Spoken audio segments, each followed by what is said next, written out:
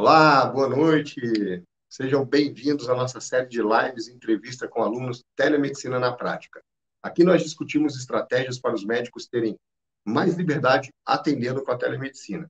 E eu sou Asdrubal César, sou médico, educador, e o tema de hoje é entrevista com alunos, telemedicina na prática, médica, clínica geral. Então, eu vou chamar a nossa convidada, a doutora Jussara. Vamos adicionar ela aqui na nossa stream. Boa noite. Oi, Sara. Boa noite, muito bem-vinda. Obrigado por ter aceitado o convite. Eu que agradeço pelo convite. Certo. Então, Jussara, para o pessoal que está nos assistindo, para eles te conhecerem, é, né, seu nome, né, sua formação e, e de onde você é. Eu sou Jussara, é, eu me formei em clínico geral faz mais ou menos sete anos e eu trabalhava em Minas Gerais. Aí eu me casei, meu esposo é, passou na residência e veio para São Paulo, Ribeirão Preto. Então, quando eu me mudei, saí, né, depois de trabalhar cinco anos em Minas e vim para Ribeirão, eu me senti assim meio abandonada, né? Abandonando os meus pacientes também. É, e foi difícil, porque deixei toda a minha família, não tinha como é, ajudar, auxiliar, né? E foi, foi aí, né, que é, eu senti realmente a necessidade da telemedicina. Ah, certo. E nesse processo, né, é, você né, sentiu essa necessidade, tudo, mas como é que você me conheceu? Conheceu também o nosso material? Como foi isso? Eu engravidei o ano passado e é, até então não tinha sentido assim tanta necessidade da telemedicina, apesar que é, tinha todo aquele problema. Eu tinha, por exemplo, se eu quisesse renovar uma receita do meu pai ou da minha mãe, eu tinha que fazer a receita e enviar para o correio, ou organizar para deixar lá, ou deixar uma receita pré-datada. Então tinha todo esse problema. Eu já tinha buscado algumas vezes é, sobre telemedicina, mas não tinha achado um curso nem nada muito assim informativo. Quando eu engravidei, eu vi mais a necessidade da telemedicina, porque eu me afastei um pouco dos plantões devido a toda a questão da, da pandemia, né? Eu continuava só no PSF, na atenção primária. E aí, é, o que aconteceu? Eu ganhei a bebê, entrei de licença maternidade, e aí dificultou mais é, a questão de ir até um correio, deixar as receitas lá, é, de fazer um, um, um, atendimento, às vezes é, opcional, e as demandas no WhatsApp, né, as consultinhas de WhatsApp aumentou muito, né? Uhum. E eu ficava assim, gente, como que eu vou fazer isso de, de forma mais segura, né? E aí eu comecei a procurar é, um curso é, e seguir hashtag telemedicina e tal no Instagram. E quando a gente começa a procurar, parece que o Google vai indicando para a gente várias, várias opções, né? E aí um dia uhum. eu estava no YouTube é, procurando sobre telemedicina, eu, como exercer telemedicina de forma segura. Uhum. Apareceu alguns outros é, profissionais falando, mas foi aí que apareceu os vídeos do senhor. E aí eu maratonei todos os vídeos no YouTube e eu falei, nossa, muita informação útil, né? Que tem lá gratuitamente. E comecei a seguir através do YouTube. Eu entrei no, no Instagram, comecei a seguir no Instagram. Foi quando eu vi o curso. E eu fiquei assim, meio pesarosa, porque eu, eu pensando, né, nessa questão, porque eu tô de licença maternidade. Falei, nossa, será que, que é para mim a telemedicina? A gente tem aquele medo, né, de, de começar a fazer, de realizar. Eu não, não, por exemplo, não tenho muito hábito, né, de estar em frente às câmeras, de fazer um, uma questão virtual, assim, para mim é meio difícil. E aí, aí eu fiquei pensando, mas eu entrei em contato, a Cris foi sempre muito gentil, né, me assessorou bastante, tirou todas as minhas dúvidas e eu resolvi fazer o curso. E foi divisor de águas para mim. Então ah, foi assim certo. que eu conheci o senhor. Através Não, tá do. Que... Alô, opa. Ah, o som está funcionando? Ok? Tá, tá ok para mim. Ah, tá ok, tá certo. Então, pessoal, é... e essa questão, né, antes da telemedicina, então você trabalhava assim mais com plantão, unidade de saúde, né?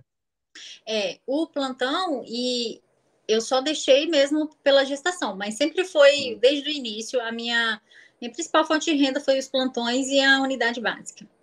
Ah, certo. E aí, né, bom, tu já adiantou aqui um pouquinho, né, que você decidiu fazer telemedicina por essa questão, né, de estar longe da família, né, primeiro, né, uhum. e também porque as pessoas acabam, às vezes, mandando né, perguntas no WhatsApp, né? Às vezes vem aquelas consultinhas que eles chamam de consultinha de corredor, foi para o WhatsApp, né? É. E você falou que sentia alguns medos e segurança para começar na, na, telemedicina, né?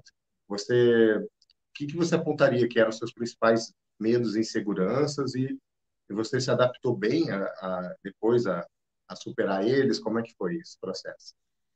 É, aqui, o que mais me deixava preocupada era a questão da segurança para o meu paciente e para mim, né? Então, assim, é, eu sei que dá para gravar a consulta, é, não é uma coisa, não parecia uma coisa muito formal, o WhatsApp, né? E a gente fica com medo de, às vezes, até vazar essa consulta é, online, né? Imagina, o paciente está ali expondo, às vezes, um, uma necessidade muito íntima e, e, isso vaza na internet.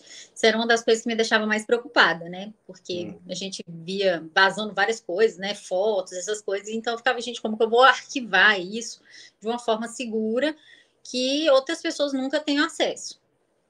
E também ficava pensando sobre a questão do exame físico, né? Nossa, como que eu vou chegar num diagnóstico sem o exame físico, né? Como que eu vou fazer um bom atendimento sem o exame físico? E outra questão também que me deixava apreensiva, porque imagina se eu tivesse um fluxo, eu imaginava, se eu tivesse um fluxo grande de pacientes, imagina eu ter que ir no correio todo dia, misericórdia, para deixar é, receitas, né? Porque era um problema gigantesco essa questão da receita, né? Eu não sabia como que ia funcionar essa questão da, da receita, né? Então, imagina você ter que ir no correio todo dia, postar a receita para os pacientes, relatórios, né? Então, isso me deixava muito apreensiva. E, e também eu não sabia se eu ia conseguir ter desenvoltura suficiente é, para fazer um bom atendimento virtual, né? Porque você acaba não tendo aquela, aquele, aquele, primeiro contato com o paciente fisicamente e tal, porque às vezes é uma primeira consulta online, então você nunca viu o paciente e a primeira vez vai ser online mesmo. E eu achava também que não ia ter muitos pacientes que fossem adeptos a essa questão, né? Porque é, é, a, a, gente sempre acha que as pessoas não têm tanta desenvoltura assim na frente da câmera e tal, mas foi um grande engano, porque eles, eles eles falam melhores às vezes do que eu, eles têm mais tranquilidade na frente da câmera do que eu. É, às vezes não fica muito bem focado, o rosto, essas coisas, mas a pessoa fala muito bem, se expressa muito bem, eu acho.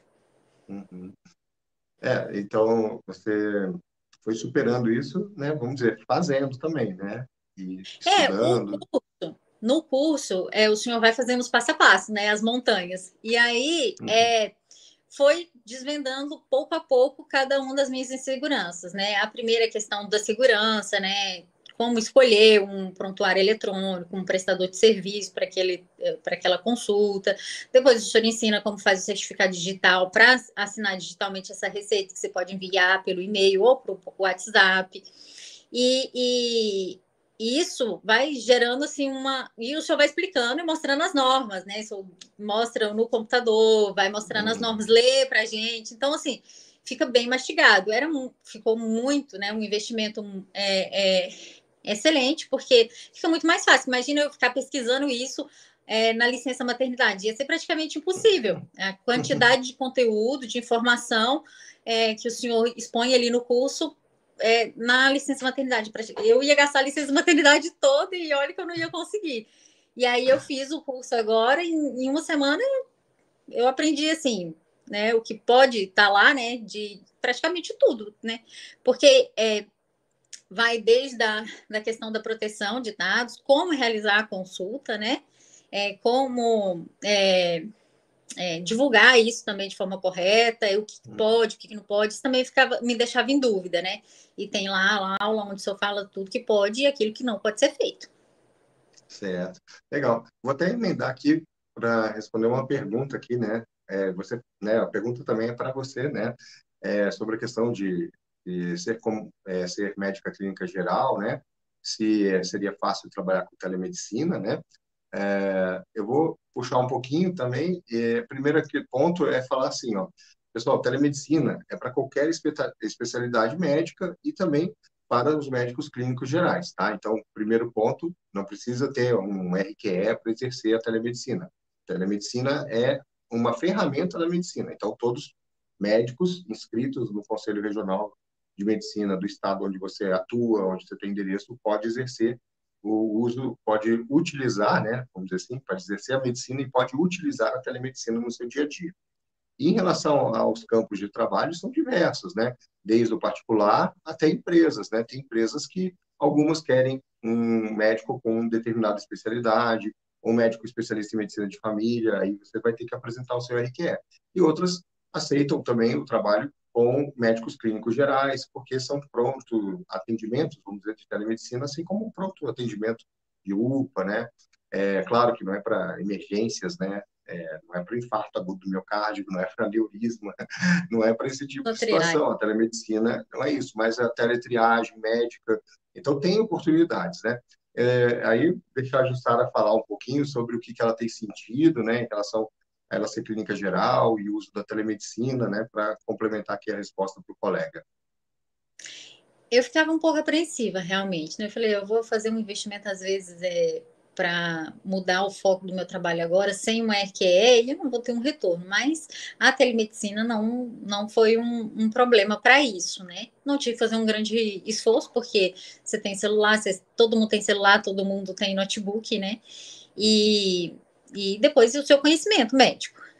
E o que me ajuda, por exemplo, que eu não sou genera, eu não tenho um RQE, né, sendo generalista, é porque eu já tinha um tempo de formada, então as pessoas já me conhecem. Esses pacientes às vezes buscavam, né, através do WhatsApp, é, sanar dúvidas, orientações de tratamento que tinha iniciado há muito tempo, às vezes com outro profissional, mas não estava conseguindo atendimento, ou porque mora muito distante desse profissional, e eles só queriam uma, uma orientação, mas que é uma orientação que é médica e que para fazer essa orientação eu precisaria estar numa consulta para ter aquela segurança de ser um por ser um atendimento médico, né? Então, é, como que você vai orientar, por exemplo, o tratamento de insulina? Né? O paciente está fazendo um uso de uma insulina e, e você quer orientar aquilo, aquilo ali é um atendimento médico. Não dá para você fazer só pelo WhatsApp é. e sentir que está seguro, não é assim.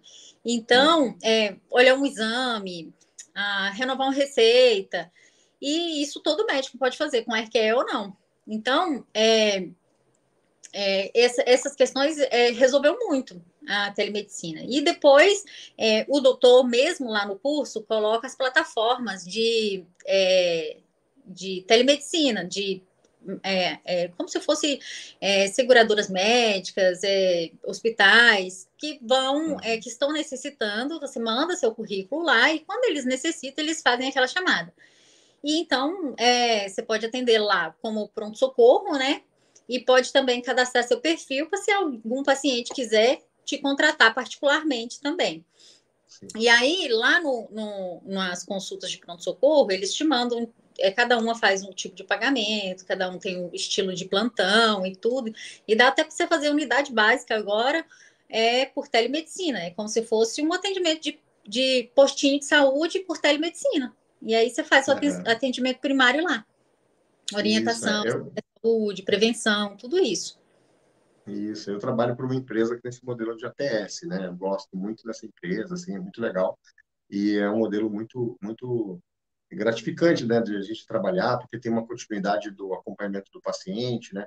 É uma empresa que oferece um suporte muito bom, né? Porque as pessoas que são atendidas por essa, essa plataforma né, de telemedicina dessa empresa, todas têm também plano de saúde, elas têm acesso a exames, a outros médicos também quando a gente precisa, especialistas, né? Então, é bom quando a gente tem suporte. Então, até dou a dica também, né? Quem for prestar serviço para uma empresa, verifica como é que é o, a rotina né, de trabalho dessa empresa, né? O que, que ela oferece para as pessoas que estão sendo atendidas por ela, né? Então, é bem interessante também olhar isso, né? Assim como quando você vai dar um plantão num hospital, né, presencial, tu vê se tem equipamento, né, se tem, se tem um carrinho de emergência de parada ali, bem montado, né, se a equipe é, é bem treinada, né, então isso você também vê, né, então a gente também vê isso quando a gente vai também prestar serviço para uma empresa, né, e a questão também, é, já tive experiência com uma grande operadora de planos de saúde no Brasil, e eu atendia, estava muito bem lá, mas uma época eles resolveram mudar a maneira como eles iam fazer a questão dos atendimentos. E eu falei, ó, nesse tempo que vocês estão propondo para um atendimento, eu não vou fazer, né? Era um tempo muito pequeno. Eu falei, isso daí não, não vai dar certo, não não vai ser seguro para mim como médico, não é seguro para o paciente. Eu acho que precisa de um tempo maior e eu me retirei, né? Outros médicos devem ter aceitado. Mas o que é importante é que você procure, aí, é, se você for trabalhar para uma empresa, alguma que atenda a maneira como você aceita trabalhar, como você acha justo, né? E seguro para o seu trabalho.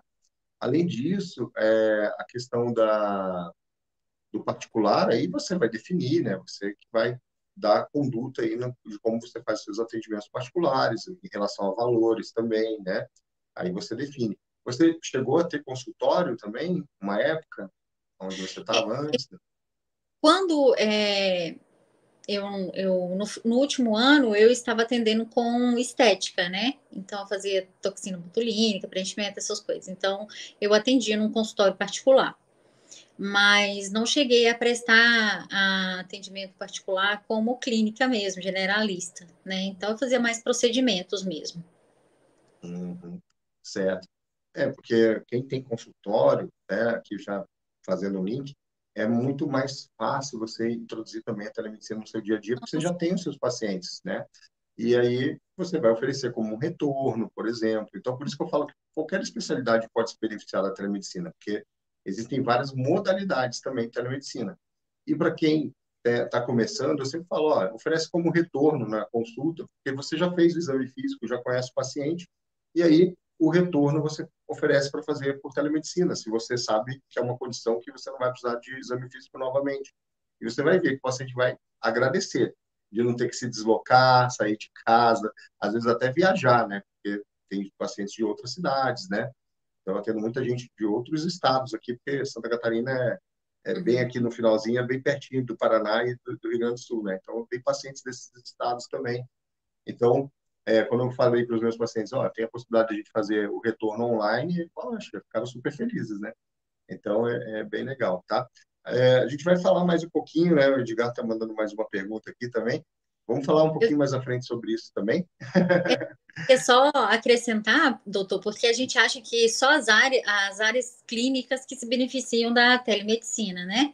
Mas uhum. as áreas cirúrgicas também, por exemplo. A minha mãe se é, operou recentemente e o retorno dela pós-operatório foi por teleconsulta e foi ótimo, porque ah, ela não sim. teve que entrar no carro, ela não teve que ficar ali sentada esperando, ela estava pós-operada, então ela fez no conforto da casa dela, é muito mais tranquilo.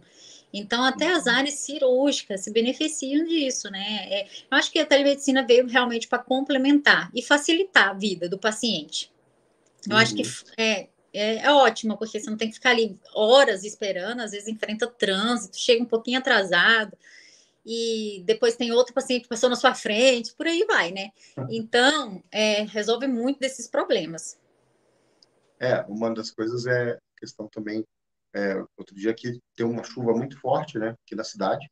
E aí eu falei, é, ah, já vai ter falta na agenda do consultório presencial. Eu estava saindo de manhã cedinho para o consultório e muita chuva.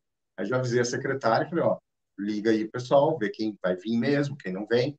É, quem viria e está numa situação que a pessoa aceitaria fazer uma interação por telemedicina, pelo menos eu já converso com ela, já avalio, já diminuo, às vezes, uma ansiedade que ela tem em relação a algum problema dela, né?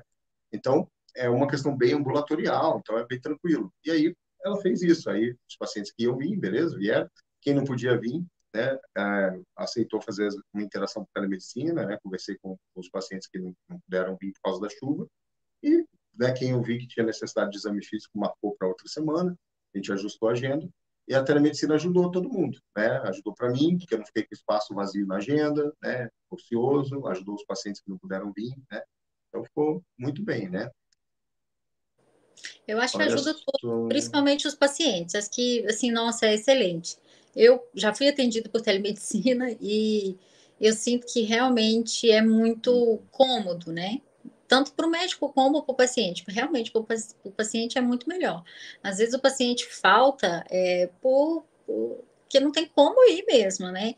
E você dando essa opção, todo mundo tem um celular hoje em dia, então rapidinho você faz ali a sua consulta, tira as dúvidas, evita do paciente tomar um remédio errado, né? Enfim, é, é bom para o paciente, é bom para o médico, porque ele consegue ter uma, um, um contato maior com o paciente, mais fácil, é mais acessível. Então, acredito que a relação médico-paciente fica até um pouco melhor. Isso aí. Então, tá certo. Bom, tá vindo umas dúvidas aqui muito relacionadas à questão de publicidade médica, tá? É, então, em relação à publicidade médica, tá? Tem a resolução 1974-11, tá? Que é a resolução que rege a publicidade médica, né? Então, é, é uma resolução extensa, né? É, bem longa, mas eu aconselho sempre a todo mundo ler essa, essa resolução.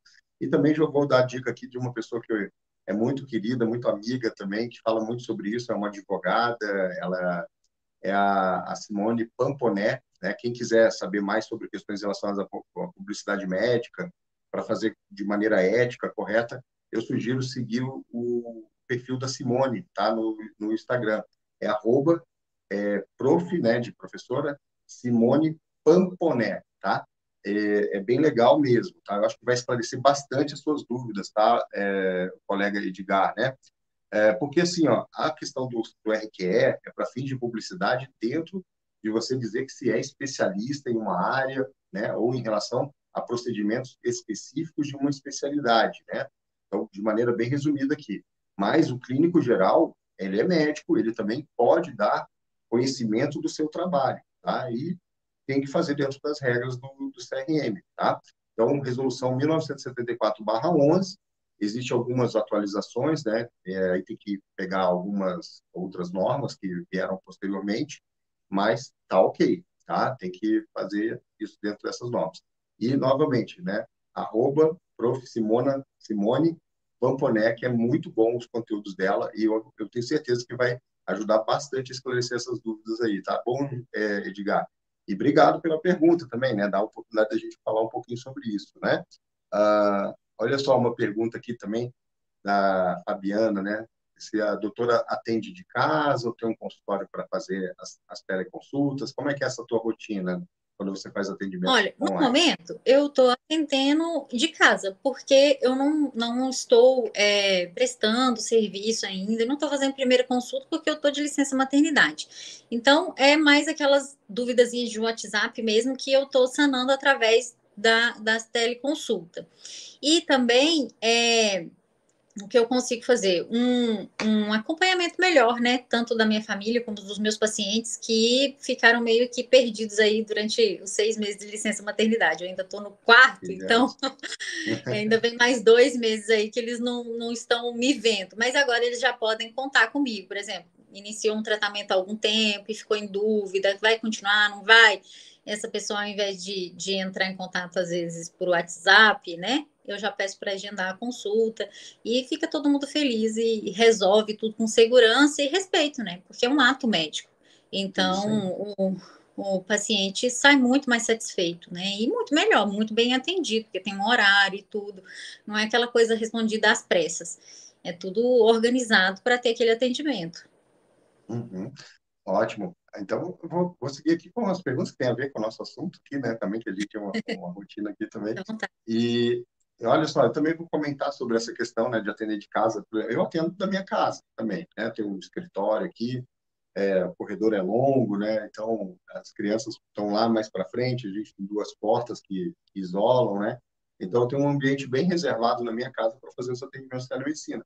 Às vezes eu intercalo, como eu tenho um consultório, eu intercalo também na minha agenda de consultório. Eu vou lá no consultório atender os pacientes presenciais mas às vezes eu encaixo consultas de telemedicina entre os atendimentos do consultório. Como a minha agenda é bem regradinha, eu sou bem pontual, né?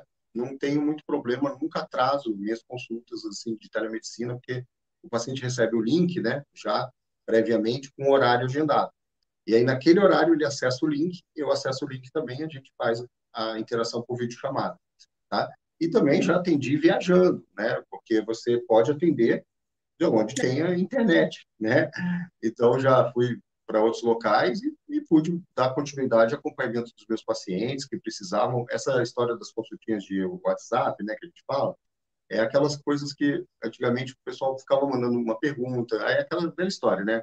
Oi, tudo bem, Jussara? Eu tô com tosse, que xarope que eu tomo? Não dá para você falar nada sem saber mais sobre a história do paciente, para você também saber se aquilo precisa ou não precisa do exame físico, né? Então, então, por isso que é importante formalizar essas interações de WhatsApp para a teleconsulta e até porque você precisa também é, ter aí o registro dessas informações, é uma norma do Conselho Federal de Medicina, né, da resolução de telemedicina diz que você tem que registrar esse atendimento em prontuário, né? Então, traz mais segurança para você e para o paciente. E também usar a plataforma de prontuário eletrônico com videochamada é aquilo que a Jussara falou. Traz garantia que essa informação está ali sigilosa, que ninguém está acessando, porque essas empresas têm que ter a responsabilidade sobre a criptografia dos dados, né, e todas as chaves de segurança, tá? Então, pode ser feito de onde você tiver um espaço, é, vamos dizer assim, seguro, né, vamos dizer assim, com privacidade para você fazer, tá? E silêncio, privacidade, é, é uma ritualística como a ritualística de uma consulta médica, né, presencial. Isso aí. E o bom de você fazer em casa é porque você pode marcar horários é, é, mais tarde, fora do expediente normal, por exemplo. Uhum. É, alguns dos meus pacientes trabalham, né? E, tra e para eles perderem né, um dia de serviço só para passar uma consulta é um problema. Então, geralmente a gente marca mais à noite mesmo. É, uhum. Tem alguma dúvida mais específica no final de semana e tem um tempo livre, tem, tem como fazer essa consulta, dá para fazer também.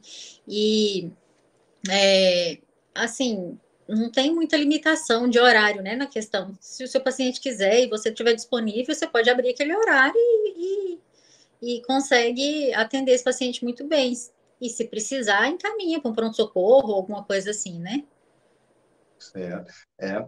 E vou até comentar de, de uma situação que aconteceu comigo hoje, né? Hoje é, eu atendo sextas-feiras de manhã no, no, meu consultório, né, presencial, mas hoje a agenda a gente bloqueou porque tinha questão relacionada à obra, né, de reforma e problema de horário das salas, né, de agenda de sala.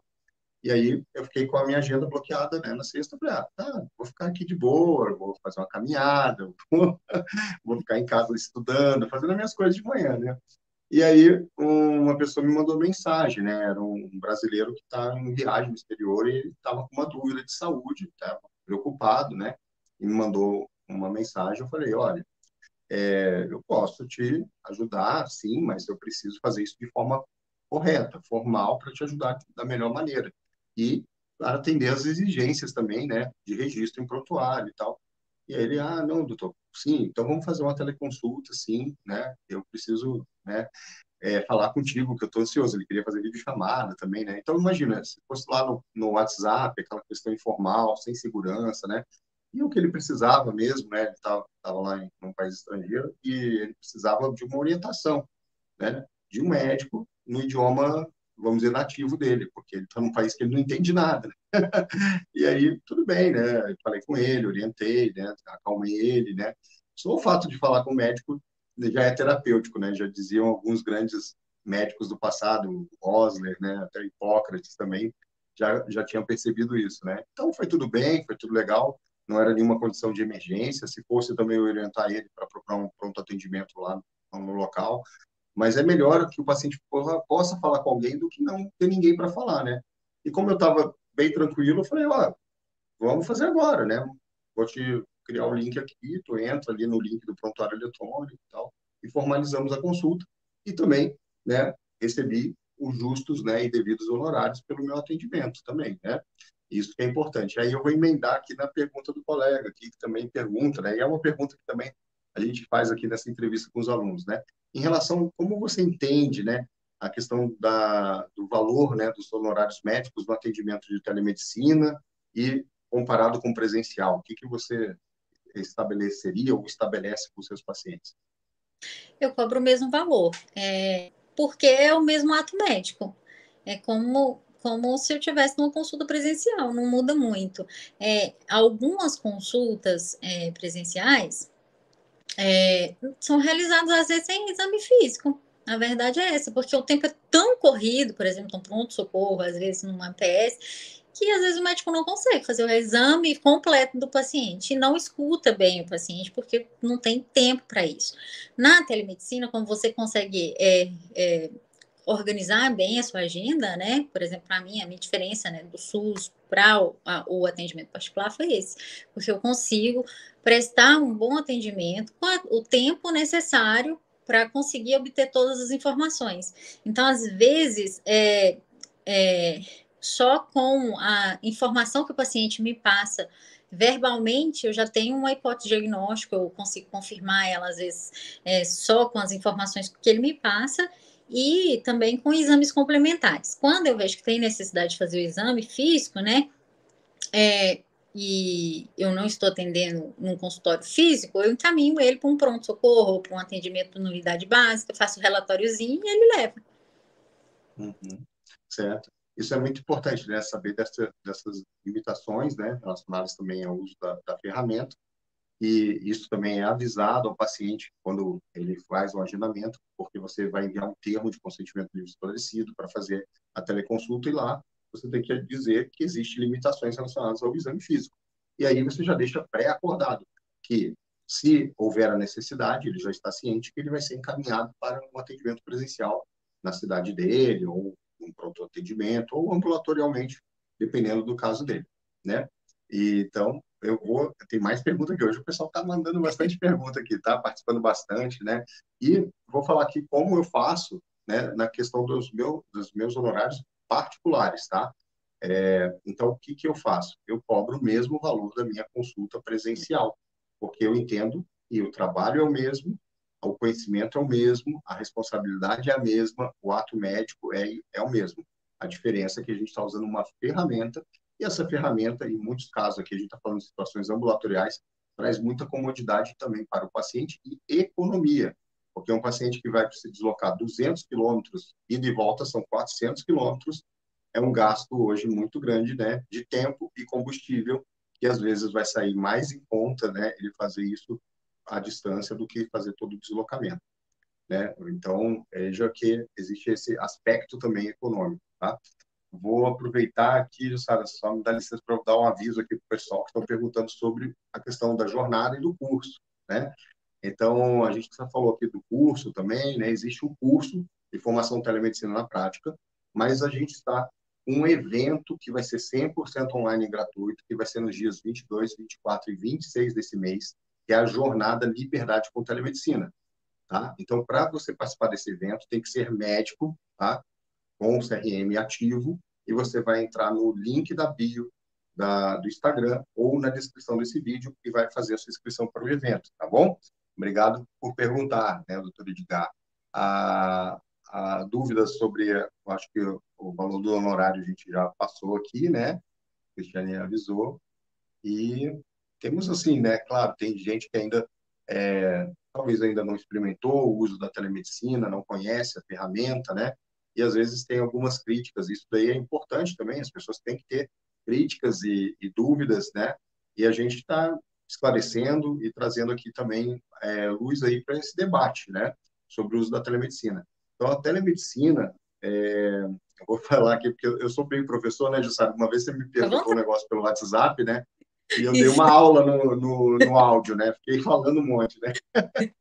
É ótimo. Mas... Isso é uma das vantagens do curso. Eu acho que é uma das maiores vantagens. É que você tem uma dúvida que não foi sanada, às vezes, e o doutor está sempre pronto para responder quando ele é a crise. Então, isso é uma das questões assim que mais me chamou a atenção, né? Essa, essa acessibilidade ao senhor, né?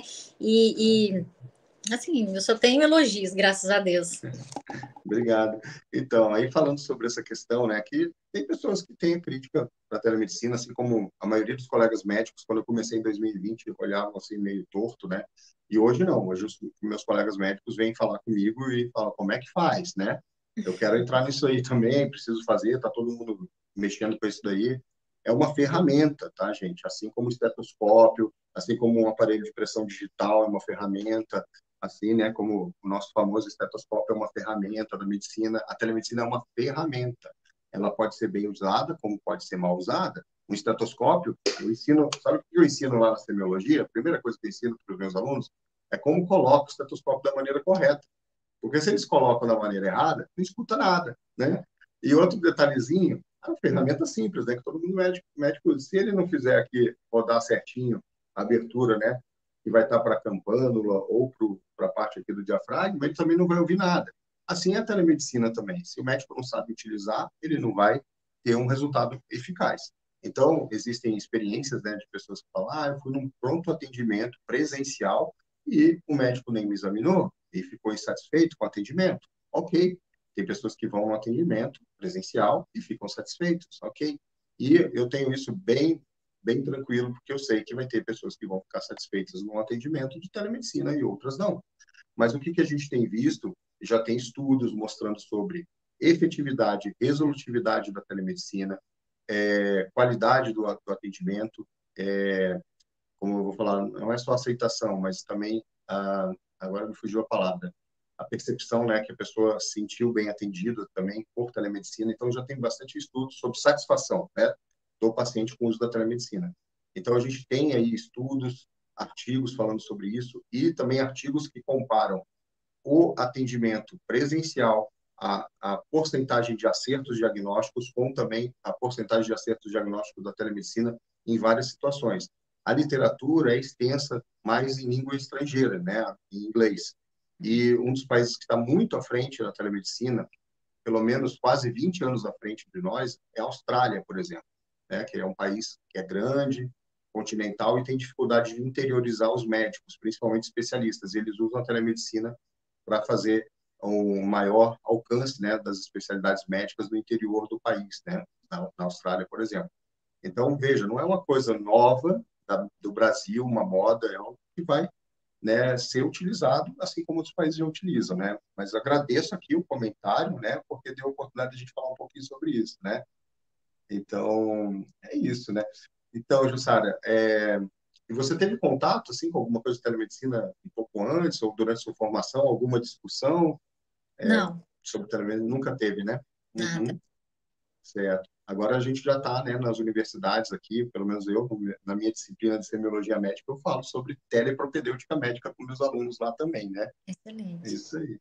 Olha Acho que só, veio mais é. agora com a pandemia, né? Então ficou mais famosa. Tinha muito assim é, interconsulta entre médicos e médicos, né? Mas não uhum. diretamente com, com o paciente eu não tive contato antes, mas com colegas assim fazendo uma conversa, né, online para discutir algum caso, alguma coisa assim, eu já tinha tido contato. Agora, atendimento mesmo foi só depois do curso. Eu não tinha, não tinha tido é, não é coragem, não tinha tido uhum. habilidade e segurança para fazer antes, sabe? Eu só me senti uhum. segura realmente depois que eu fiz o curso, porque é, eu, você pesquisa e aparece um monte de prestador de serviço, né, de prontuários eletrônicos, e você não sabe se eles estão dentro da norma, se estão seguindo as regras, aí você tem que ler toda aquela, é, as normas, né, do CRM e tudo, uhum. e aí o doutor já deixa tudo muito claro, então foi muito bom para mim, assim, é, eu só comecei a atender mês depois que fiz o curso. Sim.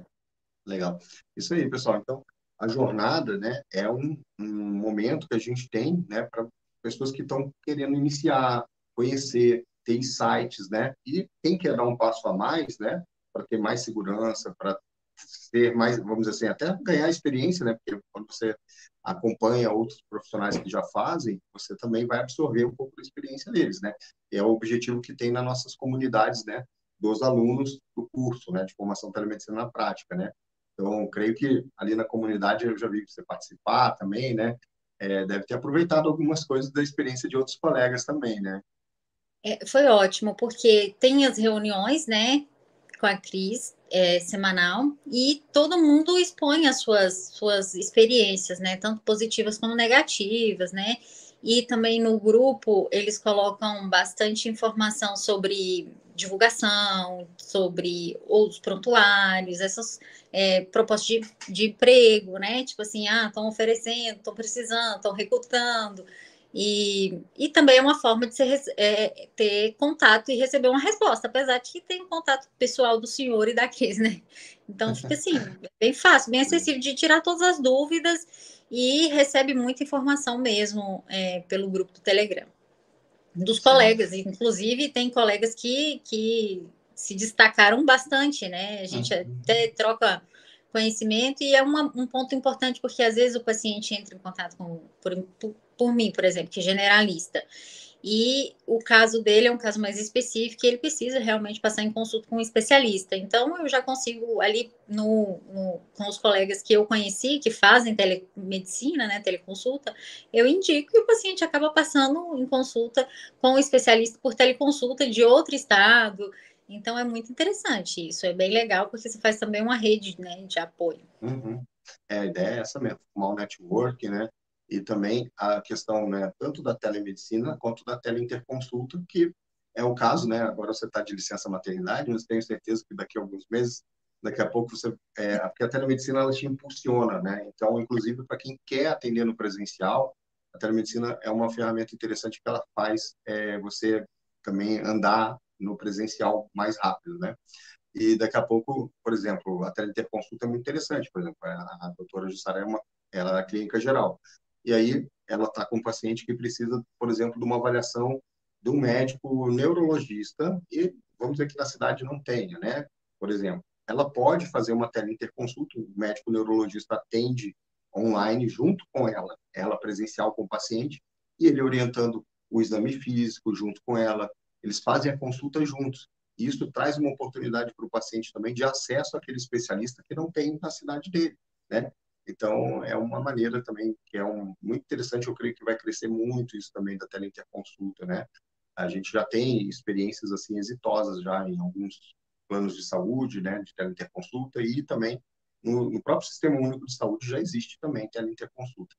E aqui um colega perguntou sobre quais as plataformas né, que vocês recomendam, né? É, então, Caio, eu vou pedir para você mandar um direct lá no Instagram, tá? No Instagram Telemedicina na Prática, a gente vai te passar um link da plataforma que eu uso para você conhecer ela. Eu uso já há mais até tempo antes da telemedicina, porque é um sistema de prontuário eletrônico muito confiável e eles já tinham a ferramenta de telemedicina prontinha lá para quando a legislação saísse, era só ativar, e foi isso que aconteceu. Eu liguei o, ON é, ali em 2020, né, e já pude começar meus atendimentos, tá?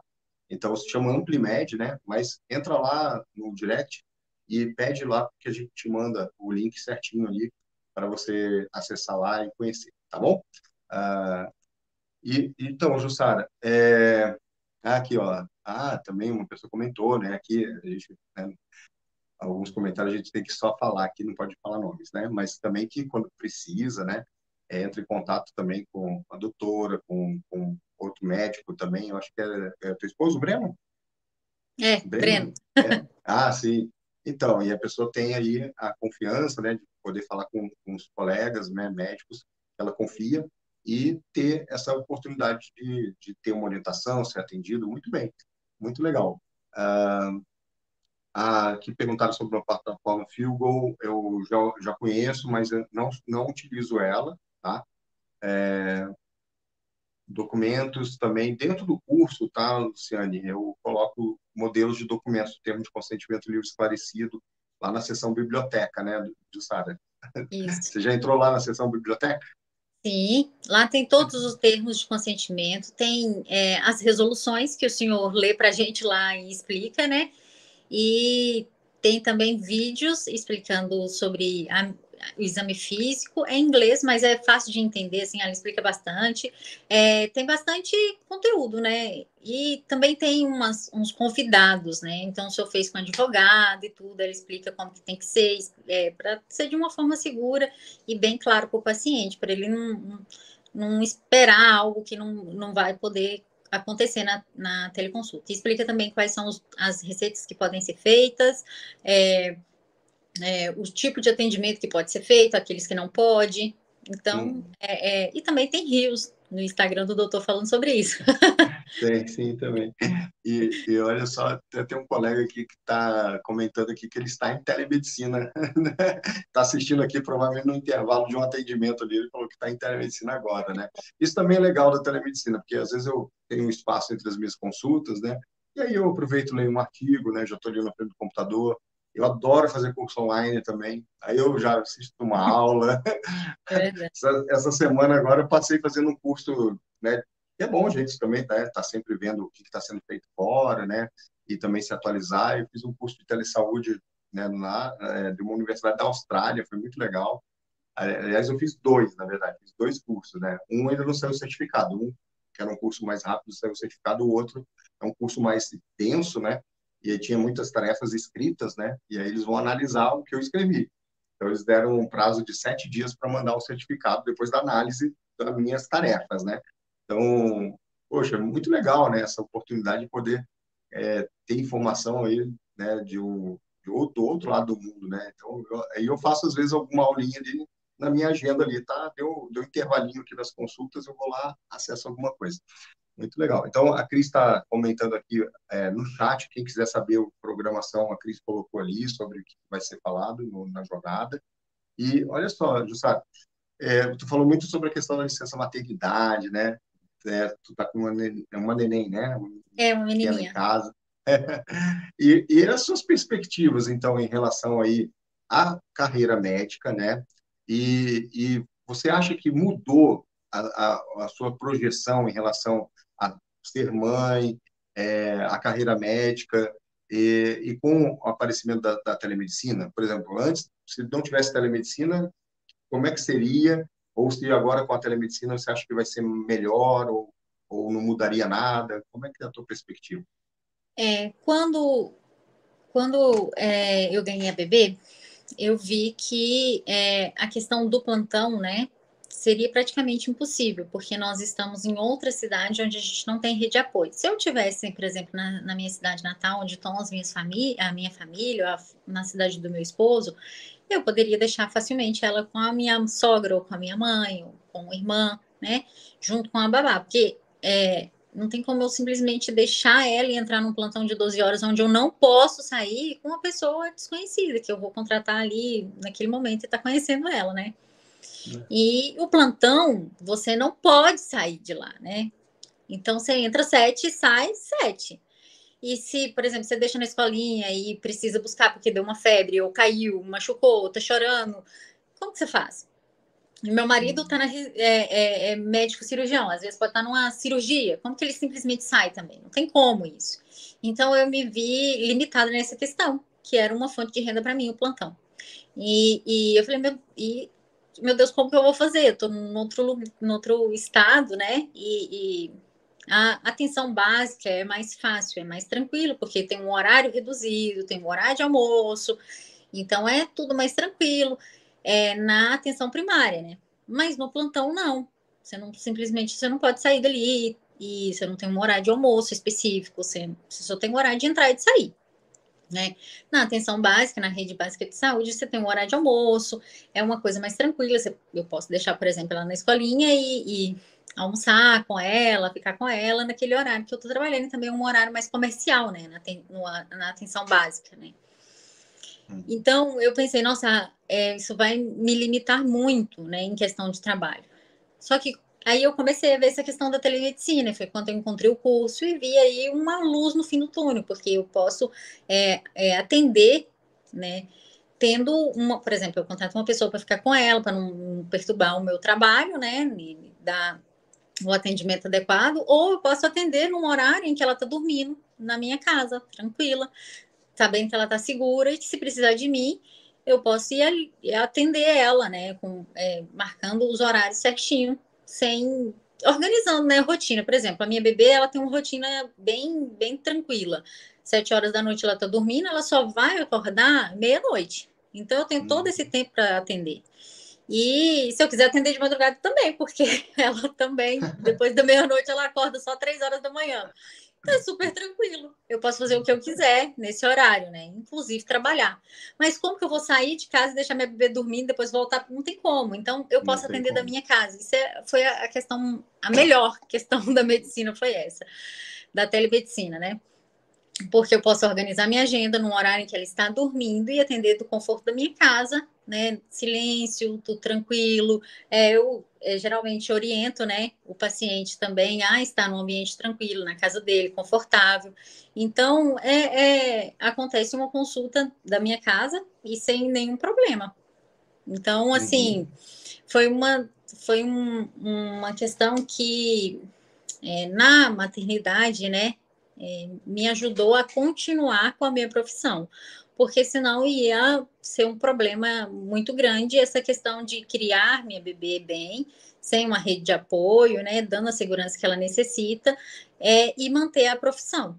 Porque hum. é, o meu esposo também não tem um horário, né? Ele entra, mas só Deus sabe que hora que vai sair. Se der hum. tudo certo, ele sabe que hora que saiu, mas se tiver alguma intercorrência, não sabe, né? Então, é, E crianças são imprevisíveis. Hoje mesmo ela iniciou uma tosse do nada. Então, eu não, a gente acha que vai dar tudo certo e às vezes pode acontecer uma coisa imprevisível e você está ali fechado num plantão e não poder sair. Então, Sim. essa liberdade que a telemedicina me trouxe de poder é, é, cuidar bem da minha filha nesse ponto, né? De ter essa liberdade de cuidado dela. Acredito que para uma, uma médica que já tem um consultório particular, que já tem sua agenda programada, isso fica muito mais fácil. Mas para mim que prestava é, é, um trabalho, né? Onde eu tenho que entrar e eu não posso sair de lá, dificultou muito, era muito limitante.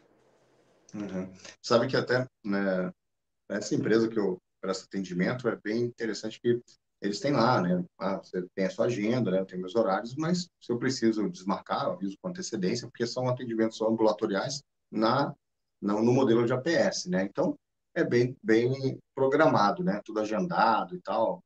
É muito bom. Ah, mas, é, por exemplo, outro dia eu estava atendendo no presencial, né? No, na atenção primária aqui do, do plano de saúde particular aqui da, da minha cidade. E aí teve uma intercorrência, o paciente ia precisar de uma transferência, né? Então fiquei esperando o, o transporte e tal. E aí eu avisei a eles, ó, é, era para daqui a 20 minutos começar o meu horário, né? Eu entrei lá, falei, gente, tô com esse problema e tal, tal. Ah, não, doutor, tranquilo, a gente remaneja o horário do paciente, né? Joga para frente, né? Então, é, é, mais tranquilo, né? Nesse sentido, porque num plantão, como você falou, né? No, no hospital, pronto-socorro, tu tá lá tu, ainda mais numa cidade de interior, que é só você, às vezes, de médico, tu não tem como sair mesmo, né? Hum. Não tem ninguém para dar uma cobertura. Ou até numa cidade maior, até chegar o outro colega para que possa cobrir o teu horário, né? E você sair para alguma coisa, você tem que estar tá lá, não tem jeito de sair, né? né? Então, na telemedicina tem essas vantagens, que geralmente são atendimentos são ambulatoriais, né? Na maioria dos casos mesmo e dá para remanejar o horário. E o paciente, como ele também não teve que se deslocar, é muito mais fácil ele aceitar um remanejamento de horário do que no presencial, porque no presencial ele já se planejou para sair lá da casa dele, né, horário, não sei o que, às vezes faltar o trabalho. Na telemedicina, o cara está ali no trabalho dele, ele vai numa sala reservada, ele faz a, a consulta dele e volta para o trabalho, né? Não precisa se deslocar, perder horário, né? Então tem várias nuances aí que são bem positivas, né? Olha só, a gente tem mais perguntas aqui, né? Mas olha, as perguntas também muito pertinentes. É, então, eu vou aproveitar e convidar para a jornada, porque eu tenho certeza que lá também muitas dessas perguntas também vão ser é, sanadas, tá? E sobre a questão aí de captação de pacientes, né? Consultório, tá? é, as normas né, de publicidade médica, como eu falei, resolução 1974/11, tá? É, procura ler. É, a, a resolução vale para o presencial quanto para a telemedicina, porque é, telemedicina é medicina, tá? É a ferramenta. E também conhecer a resolução de telemedicina, tá? Que é a 231422. E para quem quer saber mais, né, Jornada da Telemedicina, e depois quer, querendo dar um passo além, onde a gente também trabalha muito sobre essas questões relacionadas ao posicionamento digital. Veja, o curso não é de marketing digital, não é isso, tá? Não.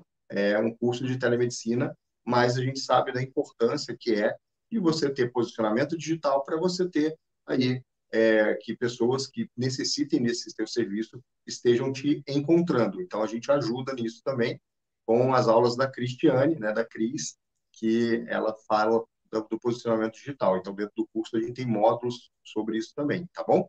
Mas acompanhe nossas lives, veja o material, porque tem muitas coisas que eu falo também sobre isso, tá? Mas eu não vou me alongar, porque a Jussara tem neném. né, Jussara? Por mais que ela acorda agora meia-noite, né? Mas você aproveita e descansa um pouquinho. é.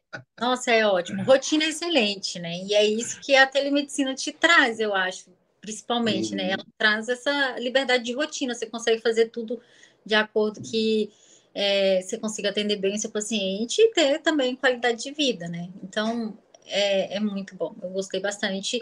É, assim, estou iniciando, né? E já estou apaixonada. e é muito essa questão também da liberdade geográfica, né, que é muito bom você poder atender em outro estado, porque isso era uma limitação, né? Tem que fazer, tinha que presencialmente você tem que fazer um aviso, tem que solicitar o CRM e tudo.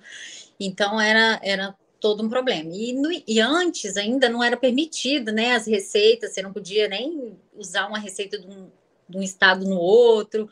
Agora já está tudo é, resolvido isso, está tudo bem tranquilo, bem pontuado. E eu já enviei receitas para Minas e tudo tranquilo, perfeito, né? funcionando. Porque agora você está você tá no estado de São Paulo? É, é agora eu estou em Ribeirão. Ah, ah, certo. E a tua origem, Minas, né? Sua família lá. É, eu sou de Minas. Uh, da onde de, de Minas? De Patos de Minas.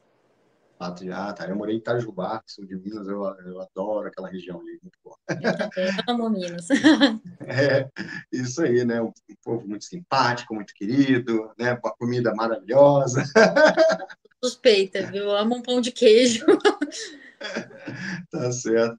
Então, tá. Olha, é, quem está querendo saber mais ou quer mandar perguntas, lá no direct do Instagram, você pode mandar perguntas que a gente vai selecionando e sempre tem a live de perguntas e respostas, tá? E também, para quem quer saber sobre a plataforma que eu utilizo no meu dia a dia de prontuário eletrônico, ferramenta de videochamada, a gente vai mandar o link para quem pedir lá pelo direct do Instagram. E também as informações do curso, tem a lista VIP dos interessados, né? A gente vai ter a jornada, sempre a jornada acontece para justamente a pessoa ver se realmente é aquilo que ela está querendo, se a telemedicina vai se encaixar nos objetivos dela, na carreira dela, no dia a dia dela. Então, por isso que a gente faz a jornada para a pessoa ter essa noção e, querendo dar um passo a mais, investe no curso, porque é muito importante você se capacitar. Tá? E até porque a maneira de fazer, que é a telepropedêutica, é uma, algo novo, né? A gente tem que aprender, é algo que a gente não aprendeu na faculdade. Mas os nossos futuros colegas, algumas faculdades já começaram, né? Então a gente precisa estar atualizado, né? então, agradecer a todos que participaram, a Selma, a, também a, a Luciane perguntou sobre a psiquiatria, muito é a psiquiatria nasceu para telemedicina, medicina, telemedicina nasceu para psiquiatria, na verdade, né? É, Soares de Menezes também, obrigado pelos comentários, também deu oportunidade de debater sobre isso também, sobre a questão do uso da telemedicina, né? E muito obrigado especialmente a você, Jussara, obrigado a, a tua família também por ceder você um pouquinho agora para a gente, tá? E se você quiser deixar alguma mensagem para os colegas médicos e também, se quiserem, os colegas acompanhar você nas redes para te conhecer mais e também trocar uma ideia, né? Pode deixar aqui para o pessoal uma mensagem e, e como te acha. Ó, é, o meu Instagram é doutora Jussara Santos, é um Instagram novo, eu abri ele agora recentemente, justamente para a telemedicina. Ainda estou aprendendo com a Cris a, a, criar os conteúdos, né? Ela estimula bastante a gente. E isso é ótimo, porque a gente fica um pouco limitado, né? A gente se sente assim, ah, não vou conseguir, não é para mim, eu não estou mais nessa idade. E não tem nada disso, né? A gente vê que o, a, tem muito conteúdo na internet, mas assim, sem ser baseado em, na, nas evidências, né? E, e, tem muita gente necessitando realmente conhecimento, de conhecimento, de informação, e a gente consegue passar isso através né, das redes sociais. E sem é, essa questão da rede social, a telemedicina me trouxe essa liberdade, né, de poder é, cuidar bem da minha filha, apesar de não ter uma rede de apoio e de me sentir um pouco mais segura nessa questão da minha profissão. Não, não queria abrir mão da minha profissão é, pela maternidade. Eu acredito que a minha bebê veio só para somar e abrir caminhos, né? E é isso, a gente fica muito mais corajosa quando é mãe. É, de enfrentar as uhum. inseguranças. Que eu tinha uma insegurança tão. É, hoje eu vejo que era muito bobo, uhum. mas é, e que eu precisei realmente dar o, o passo, igual o senhor falou, de fazer um investimento, né? E procurar saber, me informar, é, quebrar os meus preconceitos, né? Porque eu também tinha um preconceito com a telemedicina. E, e, realmente aprender a nova ferramenta, né? Me atualizar nessa questão. E hoje em dia a gente vê que tudo dá para fazer virtual. Então, é, a gente tem que se atualizar também, né? E é, dar essa opção, pelo menos, para o paciente, né? Porque muitos pacientes não vão querer mais ir presencialmente para fazer só uma orientação básica, sem aquela necessidade extrema. Isso é muito bom, porque desafoga um pouco né, os pronto-socorros, desafoga muito aquelas filas, e a, e a consulta, a interconsulta com o o colega também ajuda bastante, porque às vezes você tem um amigo que é um ótimo profissional, especialista em, em, em determinada coisa, e que você não, às vezes não conseguia ter, é, é, é, conseguia ter aquela informação ou tirar aquela dúvida junto com o paciente, porque não tinha uma ferramenta adequada para isso. Né? Às vezes podia até discutir um caso, mas com aquele medo de que vazasse o caso. Né? Hoje em dia você pode fazer uma consulta, né? E ter segurança de que isso está tudo dentro das normas e que não vai vazar, e que não vai sair na internet, que, que aquilo foi bem, bem feito, realmente com segurança e qualidade de atendimento para o paciente e para a gente. Então, é isso. Para mim, é, foi é, divisor de águas. Me, me tirou toda aquela insegurança e realmente abriu uma nova porta para mim, né? Que não é só mais a atenção primária, porque eu sou generalista, né? Então é mais difícil para mim. Acredito que para quem tem RQE é muito mais tranquilo para você implementar é, novos é, leques de opções no seu consultório. Mas para mim, que estava só prestando serviço no SUS, que só tinha aqueles dois tipos de trabalho, foi excelente. Foi realmente uma, uma, nova, uma nova ferramenta que veio inovar mesmo. E acredito que vai, vai ser, às vezes, até o carro-chefe agora da minha prática médica. Bom. É, eu, eu lembrei agora, quando você estava falando, né? Que você tem sete anos de formado, né? Que você Isso. atua, né? Eu, eu fiz a minha transição, assim, do, do público para o privado quando eu estava com 10 anos de formado, né? e não tinha telemedicina. Então, eu tive que alugar uma sala comercial, eh, me associei com outro colega, né? E passei uma reforma inteira, que era para ser de dois meses, durou quatro, que era para gastar X, gastou 2X, né? E aí depois, né, uma clínica funcionando, é funcionário, é alvará, é taxa, aí a vigilância passa lá, tá tudo certo, mas aí, ah, mas quantos ar-condicionado tem aqui? Ah, tem então. Aí tem que tomar quantos mil BTU? Ah, vai precisar da assinatura do engenheiro mecânico para ter o funcionamento dos ar-condicionados. Eu tenho que ter autorização agora para ter um ar-condicionado. É. Aí é, é, o Brasil é cheio dessas coisas, né? Tem um rodapé lá que eles acham uma taxa, alguma coisa assim. Então, é, para quem está saindo, né, ou não só saindo, ou quer complementar, né, quer continuar no atendimento no, no, público, mas quer ter sua atuação no privado, a telemedicina traz, traz essa oportunidade que você não precisa gastar tanto, né, numa reforma de sala, né, aluguel, funcionário, um monte de coisa. E aí, depois que você dá esse start, né, você pode depois, como eu falei, eu tenho certeza que você também vai ter um atendimento no presencial, porque a telemedicina vai te impulsionar também para isso. E hoje, no meu consultório presencial, muitos pacientes novos vêm porque eles veem que eu estou fazendo telemedicina. E eles vão lá porque, ah, eu vi teu material e tal. Como é que funciona? Eles vão lá no consultório e perguntam da telemedicina para usar depois, né?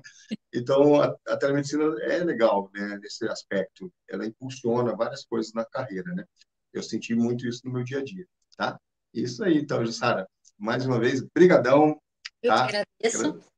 Agradecer a Cris aqui pelo apoio nos bastidores pelo curso. também. Eu que ah, agradeço pela oportunidade, pelo curso, por todas as informações aí. Agradeço pela Cris, que foi excelente, pelo grupo, por todos os médicos que a gente conheceu lá, né? Então, assim, é, é, até agora não vi defeito. não estou ah, procurando também. Ah, sim, obrigado, obrigado. Isso aí, então, pessoal, participa da jornada, tá? Para saber mais e ver se realmente, ó, eu gostei, fiz a jornada, me senti mais seguro, é isso que eu quero fazer, né? Quero utilizar a telemedicina na prática, no meu dia a dia. Então, se inscreve no link da bio ou na descrição desse vídeo e vem para a jornada. E lá na jornada, você vai ver que é, ah, telemedicina para mim, quero dar um passo a mais, vai ter o curso. E dentro da jornada a gente vai falar mais sobre isso também, mas só a jornada já vai abrir muito a tua mente, vai abrir um horizonte que talvez você não está enxergando ou você está subindo uma montanha e quando você chega lá em cima, né, que é a jornada, tu vai ver que ó, tem um monte de coisa para frente para você fazer que vai ser muito bom aí para tua carreira, tá bom? Então, Sara, obrigado, beijo, é, agradeço você também pelo aquele depoimento, me emocionou bastante, muito obrigado, tá? Tchau, agradeço. pessoal. Boa noite a todos. Boa noite.